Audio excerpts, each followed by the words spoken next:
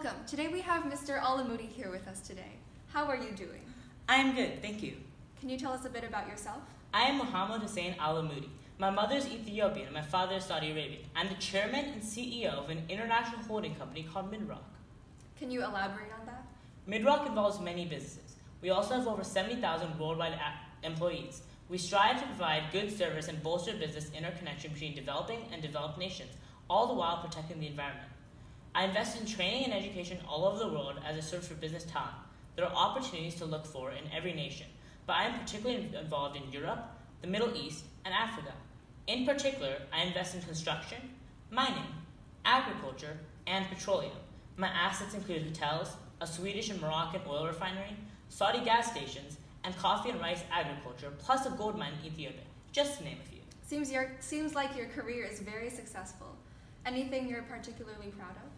My projects have gained me a net worth of over 12.6 billion US dollars. In 2015, Forbes magazine listed me as the second wealthiest Saudi Arabian and the second wealthiest African billionaire. Now, you're actually currently being detained in Saudi Arabia. You were arrested just last year for corruption, and Forbes removed you from their list of wealthy people. Yes, that's correct. What's your point? Well, Saudi Crown Prince Mohammed Al Salman seemed to place much blame on your head last year during his anti corruption campaign. What do you have to say about that? Wow. I'm just gonna say, don't believe everything you hear about me, okay? But in all seriousness, I was tracked down by the Ethiopian government's crackdown on corruption. I was detained at the same time as 15 other princes, ministers, and businessmen, though the purge took about a thousand people in total. I was accused of money laundering and illegal, illegal land grabbing. These accusations, of course, are obvious. Wow, but the good news for you is prospect of your release has made news in these past weeks. Is that right? Yes, the Ethiopian Prime Minister Abiy Ahmed has placed priority on requesting release me, which I am thankful for. I believe he said that the incarceration of one Ethiopian is the incarceration of all Ethiopians.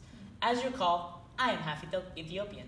Many people are being released in exchange for their assets, though I'm not sure if I want to give up any of mine. Moving on from the shady aspects of your business, how has your business impacted global economics?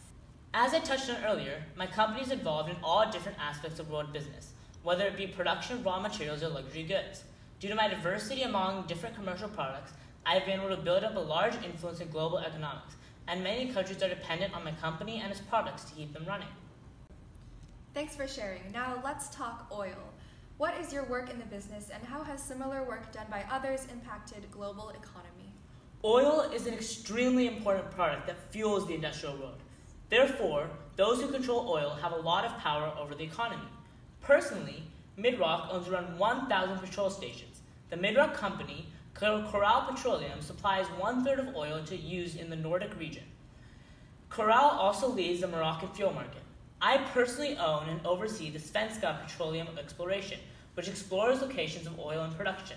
So you can say I am quite involved in respects to oil. Yes. Currently, Svenska is looking into West Africa and the opportunities there. Continuing on that topic, how does the organization OPEC impact worldwide economics? OPEC is a strong organization. They collaborate on their policies and prices, which can help them gain profit and makes other nations more dependent on them. It has many members that are major oil producers from Africa, the Middle East, and South America. From your perspective, what defines an important player in the global economy? Of course, developed and developing nations come to mind. Also, those who control or influence major products like oil, lumber, rubber, and metals hold power over others. For example, Qatar has 12% of the world's oil and combines this with smart strategy and connections. Ever since the 90s, they have been forging connections to export to other nations and collaborate with oil companies. Finally, how have economics changed relatively recently, specifically after the Cold War? After the rise of the internet, worldwide stock trade has advanced. From home, people can watch the rise and falls of companies and market indexes as wholes. In this way, the economic landscape is much more understandable to a greater quantity of people. Trading stock happens at the click of a button and is accessible to more groups. Predictions become a bigger, more technological act. Well, that's all, folks. Thanks for coming in today, Mr. Al Amoudi. Thank you for having me.